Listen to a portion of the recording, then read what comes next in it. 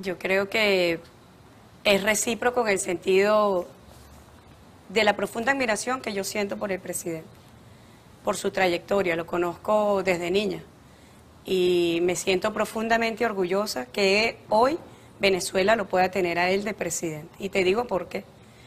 Porque es un presidente que viene de las luchas del pueblo. Nació y se forjó en el pueblo. Presidente en los gobiernos puntofijistas era un muchacho muy joven y andaba por las calles en protesta, alzando su voz con valentía, con dignidad. Luego lo que fue su desempeño como líder sindical y después como canciller. Cuando el comandante Chávez lo, lo designa canciller, yo recuerdo, hablando con mi mamá y con Jorge, un gran orgullo. Sentíamos cuando veíamos a ese joven su trayectoria política, su trayectoria de lucha en los movimientos populares, su trayectoria sindical, fuera el canciller de Venezuela, el que iba a llevar nuestra voz al mundo, porque es un canciller, el que lleva la voz de todos los venezolanos y las venezolanas al mundo. Creíamos, y, y no tenemos duda que fue así, de que había sido una designación muy correcta para identificar a la revolución bolivariana en el mundo. Y luego, bueno, lo que fue que él ganara la presidencia de la República.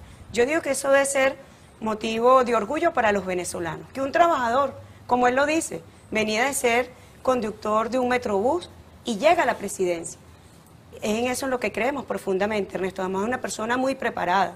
Quienes han pretendido desconocer su preparación, lo han subestimado, bueno, afortunadamente lo han subestimado y se han equivocado. El presidente Nicolás Maduro es muy preparado. Yo recuerdo cuando asumí el Ministerio de Comunicación, él me enseñó muchísimo. Yo sabía muy poco de comunicación, pero lo que hoy sé de comunicación me lo enseñó el presidente. Igualmente, cuando asumí la Cancillería, lo que yo sé de diplomacia, de Cancillería, no fue en una escuela diplomática, me lo enseñó el presidente Nicolás Maduro en, honor a la verdad, ya tú tenías una experiencia Yo había sido vicecanciller para Europa, pero el presidente... Directora internacional del Ministerio de Energía. Exactamente, en, Petróleo de Venezuela, en el Ministerio de Energía. Pero el presidente Nicolás Maduro, Maduro traía la trayectoria de la construcción de los anillos diplomáticos que ideó el comandante Hugo Chávez, el comandante Fidel Castro para la protección de la patria grande. Yo te refería hace muy poco, la economía bloqueada, un país bloqueado.